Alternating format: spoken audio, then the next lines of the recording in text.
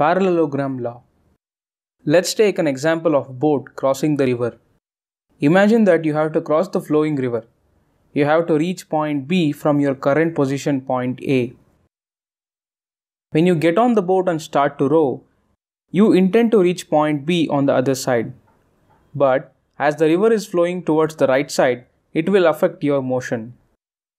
In the end, you cross the river, but instead of reaching point B, you will reach point C. What has happened here? Parallelogram law helps us in understanding this problem. Your driving force is considered as force P and the river force towards the right is considered as Q. Then, parallelogram law tells us that if we take these force vectors as adjacent sides of a parallelogram and complete the parallelogram, then the diagonal will give the direction of resultant. The same thing has happened here. Combined effect of both the forces made the boat to reach point C.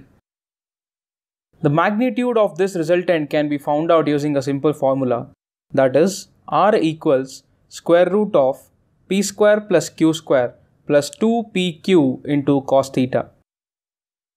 And the angle of resultant with horizontal force alpha can be found out using another simple formula which is alpha equals tan inverse of q sine theta divided by p plus q sine theta.